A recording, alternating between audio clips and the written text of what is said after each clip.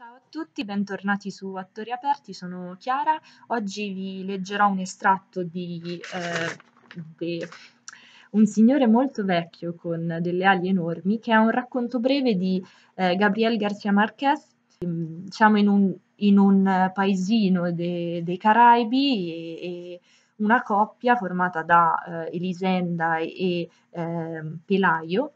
Ehm, trovano questo uomo molto vecchio, appunto con delle ali enormi e ehm, nel paese si sparge la voce che appunto eh, Pelaio e Elisenda abbiano trovato un angelo. E questa coppia decide di eh, ospitare a loro modo eh, questo signore dandogli diciamo riparo nel loro pollaio. La voce si è sparsa e la gente inizia a, ad arrivare appunto a, a vedere questo, questo angelo e viene un po' trattato come un, un animale allo zoo diciamo. Questo estratto è più o meno ehm, si trova più o meno a metà della storia, quindi vi invito anche a, a leggere questo racconto che è molto, molto bello ed è molto facile da trovare su internet.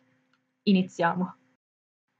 La notizia dell'angelo prigioniero si diffuse con tale rapidità che nel giro di poche ore c'era nel patio una baraonda da mercato e dovettero far venire la truppa con le baionette per scacciare la folla in tumulto che stava per buttar giù la casa.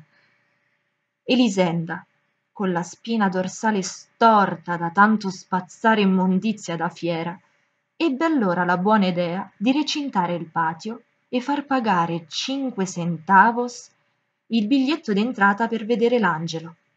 Arrivarono curiosi fin dalla Martinica. Arrivò una fiera ambulante con un'acrobata volante che passò a razzo varie volte sopra la folla, ma nessuno gli fece caso, perché le sue ali non erano di angelo, ma di pipistrello siderale.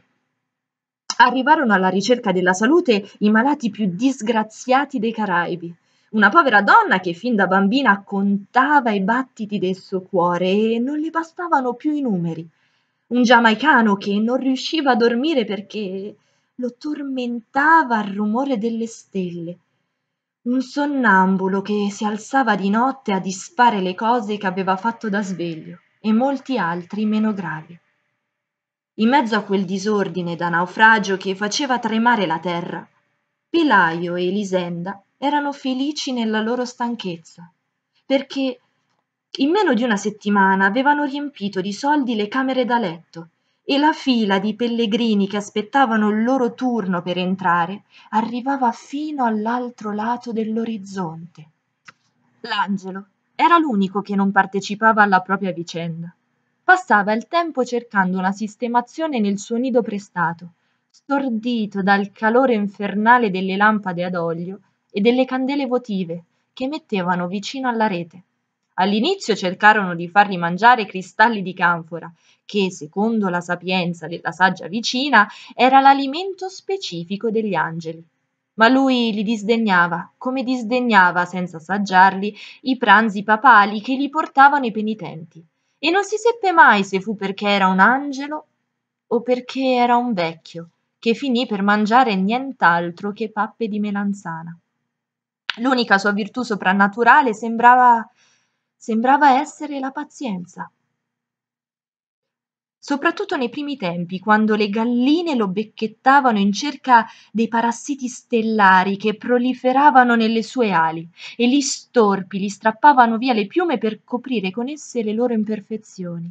E perfino i più pietosi gli tiravano pietre nel tentativo di farlo alzare per vederlo a figura intera.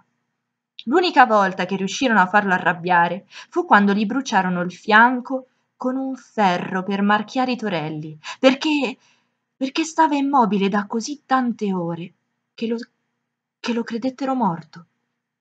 Si svegliò di soprassalto, strepitando in una lingua ermetica e con le lacrime agli occhi e diede un paio di colpi d'ala che provocarono un mulinello di sterco di gallina e di polvere lunare e una ventata di panico che non pareva di questa terra.